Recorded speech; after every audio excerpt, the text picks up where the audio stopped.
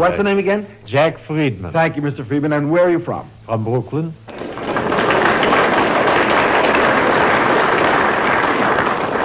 From Brooklyn. Well, welcome to Sense or Nonsense. Now, you have chosen for your category the sense of sound, That's right? right, yes. Now, you know how we play. We're going to give you certain sounds to identify. And now, here is your first question.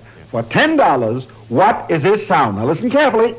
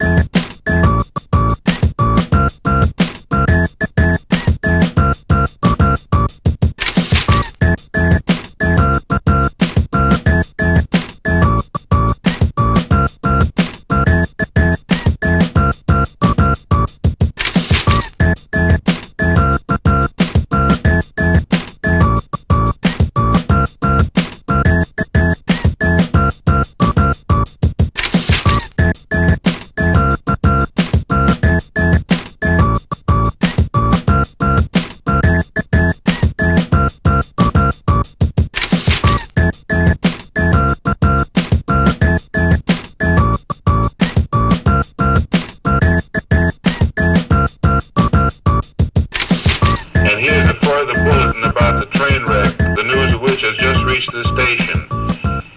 According to latest reports, more than a score of passengers suffered injuries near Carrollton, Missouri.